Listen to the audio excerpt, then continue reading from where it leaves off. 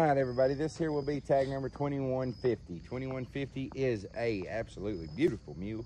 This mule stands to be right at 14 hands tall. Um, he is a quarter mule. He is probably one of the most honest mules we've ever had here. He really wants to get around the neck rein. Um, he's got good brakes on him, it seems to be. Tyler said he loves him. He said he's a good, honest dude. He really likes this mule. Um, and Tyler is not a mule man. Uh, so he likes, but if he likes a mule, it's a pretty dang good mule. But he's a pretty mule. There he goes in a canner. And there's his brakes. Uh, this mule will hook up and work. I was told that he would hook up and work.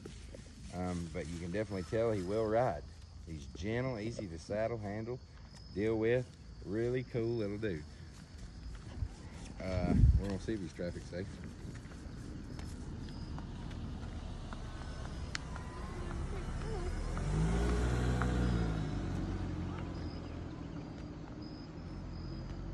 He didn't do nothing. He just kind of looked at it. But a really good mule.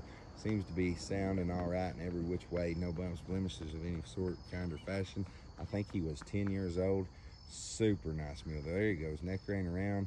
Really broke little mule. Broke for a lot of people. Somebody's wanting mule to ride. Got good brakes too. And he is being ridden in an O-ring snaffle bit. Pull him up here and let's walk around and take a look at him ridden in an O-ring snaffle bit. Really cool little black mule.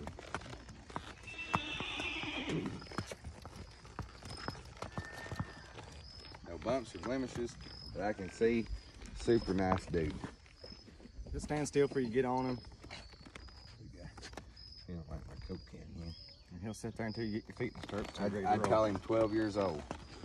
12 year old mule, not 10, 12. Tag number 2150.